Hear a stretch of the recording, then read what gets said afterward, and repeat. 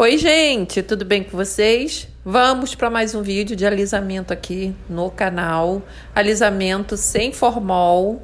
E olha esse cabelo bem crespo, né, gente? Já tem vídeo desse cabelo aqui também no canal de passo a passo. Olha, essa raiz dela cresceu bastante, tem mais ou menos uns quatro dedos e o restante já está bem lisinho. Vou fazer com progressiva sem formol e fica por aqui que eu vou mostrar o passo a passo para vocês. Fiz com detox, pré-tratamento e pós-tratamento também. Bom, comecei lavando esse cabelo muito bem lavado, duas vezes com shampoo anti-resíduo.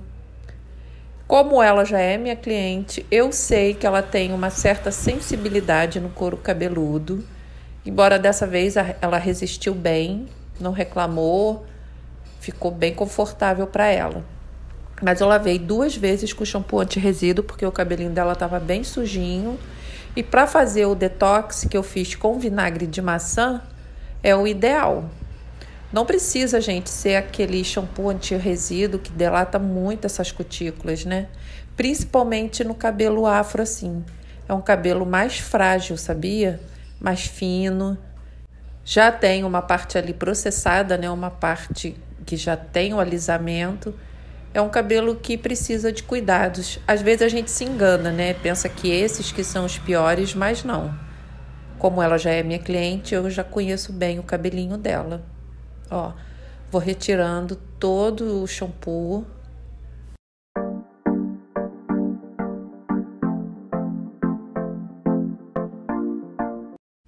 E agora eu vou entrar com o vinagre de maçã.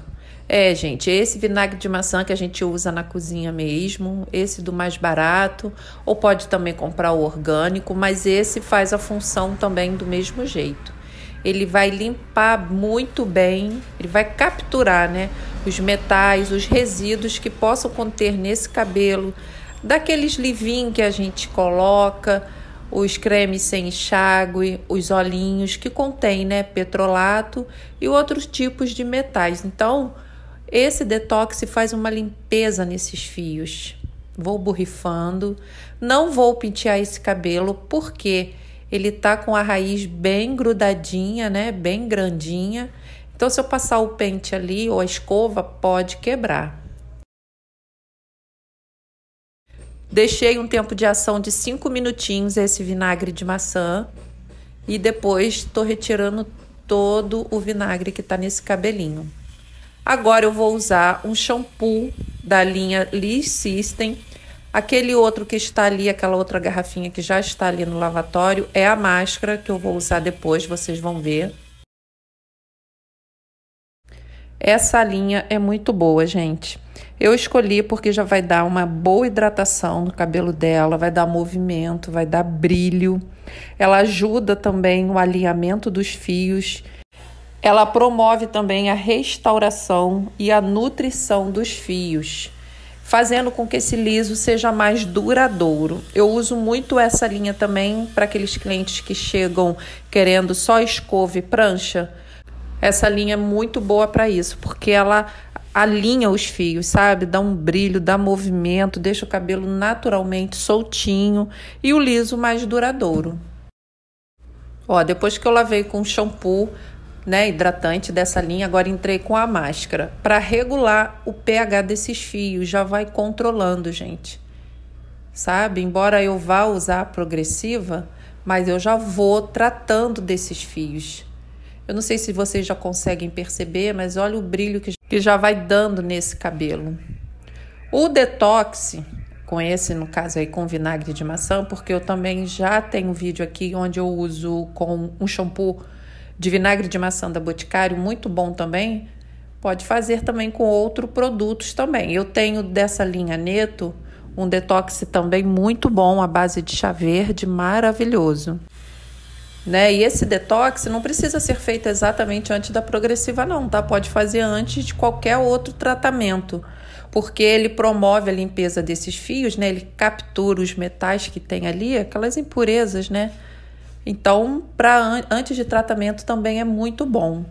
Eu sempre comento aqui no vídeo de, com vocês que o processo de lavagem do cabelo é uma das etapas mais importantes, sabe, gente? Não é simplesmente lavar, aplicar produto, esperar o tempo de pausa, escovar e pranchar. Não, vai muito além disso, sabe? Cada cabelo precisa de uma atenção adequada, de um cuidado adequado, né? A gente tem que avaliar essa fibra, como ela está, se é grossa, se é fina, se contém coloração, branquinhos, outras químicas. Tudo isso já faz parte do processo, gente. No caso aqui do alisamento. Então eu sempre falo que na hora de lavar o cabelo é muito importante. Ali você já percebe o produto que você vai usar, se esse cabelo está precisando de uma hidratação, de uma nutrição ou de reconstrução. A gente já conversa com a cliente, entende? A gente ali já vai analisando esse fio.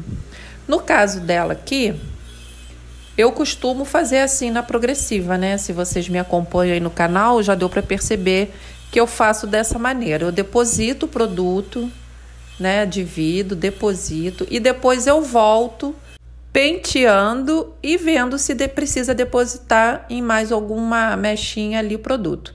Nesse caso aqui, eu não fiz isso, porque eu tô vendo que a raiz dela tá bem crespinha, tá bem grudadinha ali no couro cabeludo. Então, se eu passar um pente ali, corre o risco de quebrar. Então eu preferi não.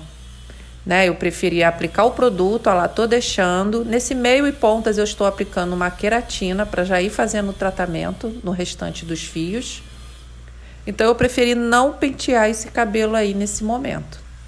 E agora, depois do tempo de ação, deixei uma hora, tirei todo o produto, entrei com essa máscara também de restauração, também da Aneto, da linha Restore Observa como eu faço bastante tratamento nesse cabelo, gente.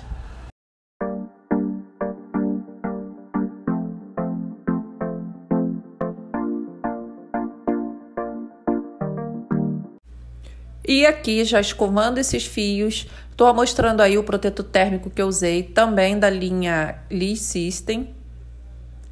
Ó, e vou caprichando nessa raiz, que é a parte que está crescida, né? Onde eu coloquei a química.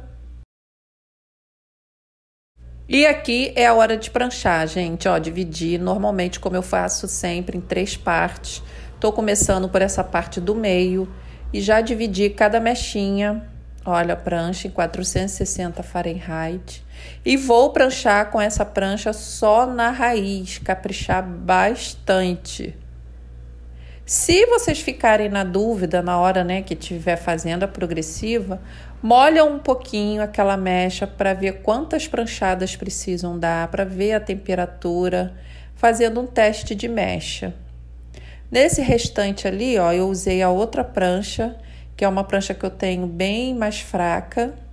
Usei a 410 graus Fahrenheit e ali eu tinha eu peguei duas mechinhas, né? Só para selar mesmo aqueles fios. Mas tem que caprichar bem é nessa raiz, né, gente? E olha como vai ficando.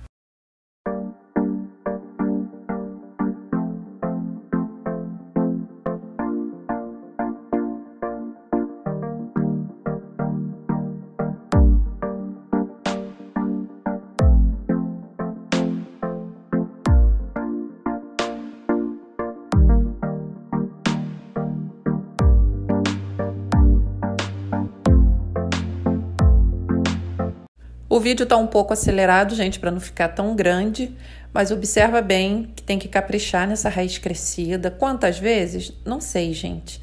E isso é importante o teste de mecha. Você ali vai verificar quantas vezes você precisa pranchar.